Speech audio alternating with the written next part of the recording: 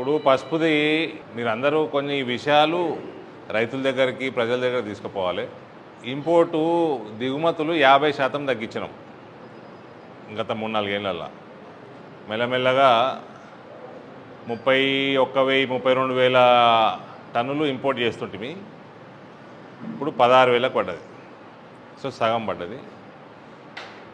రెండు వేల ఎంపీ కాకంటే ముందు లక్ష ముప్పై వేల టన్నులు ఎక్స్పోర్ట్ అవుతుండే పసుపు.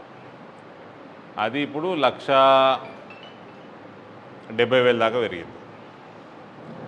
సో దిగుమతి యాభై శాతం తగ్గింది. ఎగుమతులు సుమారు ముప్పై శాతం పెరిగినాయి. అది ఇది రెండు కలిపితే ఎక్కువ డిఫరెన్స్ ఇరవై ఐదు నుంచి ముప్పై శాతం డిఫరెన్స్ అయింది. ఈ డిఫరెన్స్లోనే మనకి డిమాండ్ ఎట్లా పెరిగింది చూడండి. దాన్ని బట్టి రేట్లు ఎట్లయినా చూడండి. పోయిన రెండు సంవత్సరాలు కూడా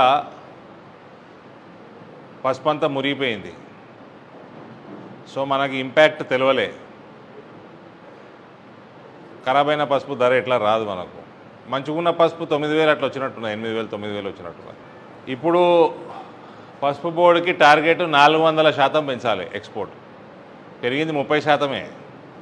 నాలుగు వందల శాతం పెరగాలి. అవినీతి లేకుండా పని చేసుకోవడము అడ్మినిస్ట్రేషన్ చాలా ఇంపార్టెంట్. పసుపు ఇంపోర్టు రెండు వేల ఇరవైలో నేను అమిత్ షా గారి దృష్టికి తీసుకొచ్చినప్పుడు పదివేల రూపాయలకు ఇంపోర్ట్ చేద్దరు. మనకప్పుడు ఆ నాలుగు వేల ఐదు వేల రేట్ ఈడ. పదివేల రూపాయలకు ఇంపోర్ట్ చేస్తుంది భారతదేశం. పనిచేసేటోడు కొంచెం అవినీతికి దూరం ఉండే పార్టీలు అటువంటి మనుషులు ఉండాలి. అప్పుడు ఇక ఈ రేట్లు ఏడిపోతాయో నాకు తెలియదు నేను కొద్దిగా అంచనా వేసుకుంటే ఇరవై వేలు దాటుతుంది నెక్స్ట్ ఇయర్ దాటుతుంది అనుకున్నా. ఈ సంవత్సరమే దాటేటట్టున్నది ఇరవై వేలు. మన మార్కెట్లో కూడా దాటేటట్టున్నది. మన వాళ్ళు సాంగ్లీకి పోయి అయితే అమ్ముకున్నారు అంకసాపూర్ వాళ్ళు అమ్ముకున్నట్టున్నారు మరి మీ బాల్కొండ వాళ్ళు జర వెనకబడ్డారు మరి. వందలు ఈయన కొనుక్కోపోయారా ఓకే. సో ఈ రేట్ ఎక్కడ వరకు పోతే తెలియదు మనము నిజాయితీగా పనిచేసుకొని బోర్డుతోటి